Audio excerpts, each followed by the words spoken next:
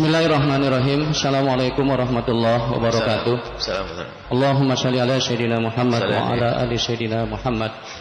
Semoga Buya selalu dalam lindungan Allah Subhanahu wa taala.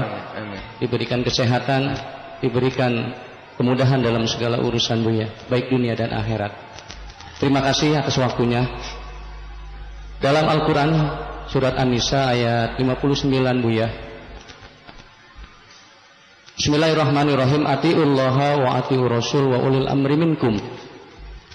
Yang ingin saya tanyakan, ketika saya berada dalam sebuah organisasi atau lembaga atau juga jamaah, di situ ada pemimpin ulil amri yang dipilih hasil musyawarah atau hasil surah. Namun ketika dalam perjalanan kepemimpinannya karena kesalahpahaman, karena ketidakpuasan, habislah ulil amri itu dibully, ulil amri itu difitnah atau dibicarakan keburukan-keburukannya di seluruh sosial media. Yang ingin saya tanyakan, bagaimana pandangan Islam atau hukum Islam atau Al-Quran terhadap orang yang senantiasa menggunjing atau memberitakan keburukan-keburukan seorang pemimpin yang disepakatinya dan bagaimana sikap kita atau saya yang berada dalam lingkaran fitnah itu terhadap orang yang senantiasa menyebarkan fitnah atau isu yang tidak baik terhadap pemimpin yang dia pilih tadi. Terima kasih Bu ya atas jawaban dan arahannya. Billahi taufiq wal hidayah. Assalamualaikum warahmatullahi wabarakatuh. Assalamualaikum warahmatullahi wabarakatuh. Ati Allah wa ati Rasul wa ulil amri minkum. Fa in tanaza'tum fi syai'in farudduhu ila Allah wa Rasul in kuntum tu'minuna billahi wal yawmil akhir. Patuhlah kepada Allah dan Rasulnya dan ulil amri itu orang yang mengurusi urusanmu. Termasuk di dalamnya adalah presiden, Kemasuk di dalamnya adalah bupati, wali kota yang ngurusi urusanmu. Atau sebuah kelompok yang memang sudah Anda buat kesepakatan di dalamnya. Bahkan pendidikan dari Nabi kalau kamu bertiga hendaknya satu kau jadikan amir. Amir. Kalau engkau bepergian lalu kamu bertiga hendaknya salah satu dari mereka engkau jadikan pemimpin. Dan setelah itu wajib patuh kepada pemimpin.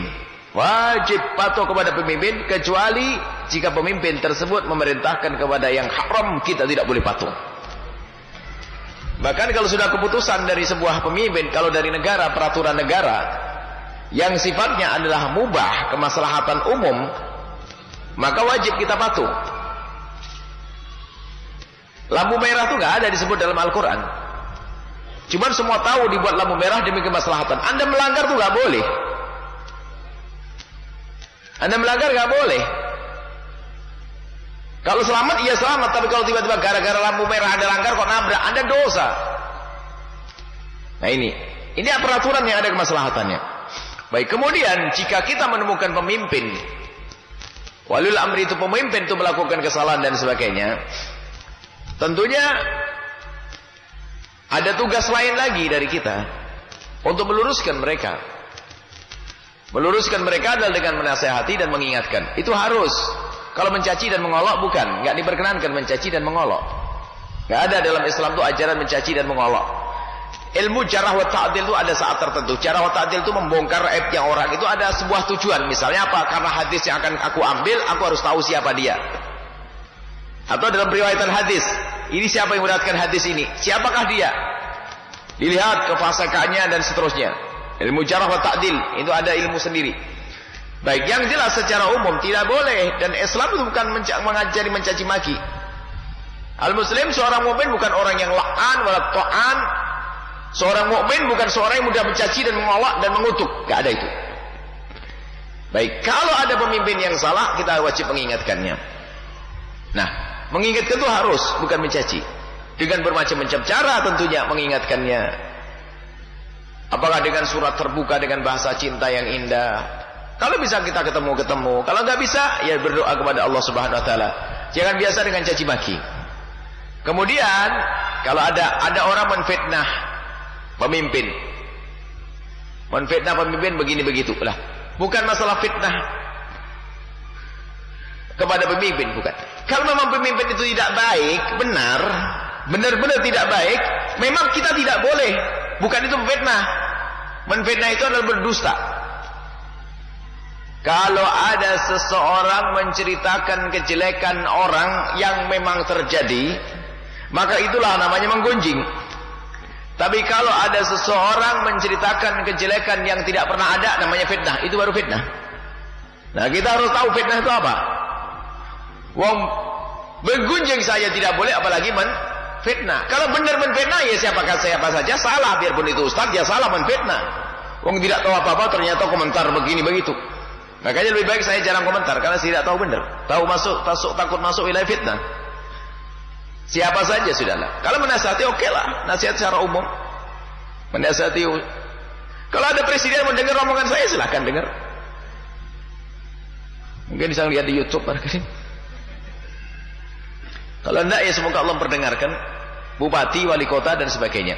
Ingat bahwa saya tidak ada caci maki, tidak ada olahan. Jangan biasa semacam itu. Kita sedih Kemudian ada mungkin ada tokoh-tokoh Islam yang tiba-tiba menyeberang jalurnya salah dan sebagainya. Itu pun bukan harus caci maki kok. Tidak harus caci maki. Ya kita mengingatkan orang lain bahasanya itu orang salah. Sudah selesai. Jangan diikuti. Bukan caci maki, si goblok, si bahlul, si bego, si ini. Apa itu semuanya? Nggak ada dalam Islam yang semacam itu. Ayo kita menjaga akhlak, akhlak Islam, akhlak agama yang diajar oleh Rasulullah SAW adalah mulia, bukan mudah mencaci dan mudah mengolok hentikan caci maki. Kalaupun Anda tidak cocok misalnya ada seorang tokoh agama menyeberang dalam urusan politik, ya cukup Anda tinggalkan, jangan pilih, selesai. Kita nasihati, selesai. Tidak usah sampai caci maki. Sebab caci maki itu juga ke mana-mana. Dia juga ikut. Akhirnya musuhan. Menjadikan orang fanatik buta semakin buta. Bukan sadar. Orang yang fanatik buta semakin buta. Bukan sadar. Gara-gara caci maki. Karena merasa orang tua ini caci. Misalnya apa? Kita punya ayah misalnya. Salah.